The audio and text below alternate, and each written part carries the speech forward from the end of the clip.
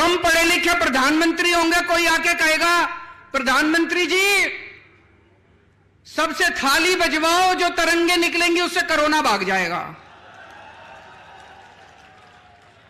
पूरे देश से थाली बजवा दी, चम्मच थाली, सारा देश।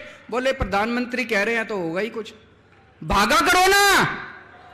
इसीलिए मैं कह रहा हूँ, देश के प्रधानमंत्री को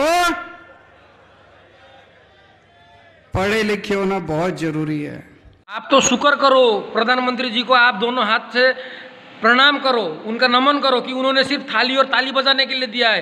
अगर वो एक बार खड़े होकर बोल देना, मेरे विरोधियों को बजाओ तो आपकी क्या हालत होती है? आप खुद सोच के देखो। हाँ? और आप जो बोल रहे हैं, पढ़ा लिखा प्रधानमंत्री होना चाहिए। अरे, पढ़े लिखे लोग ही सबसे ज़्यादा भ्रष्टाचार है इस देश में।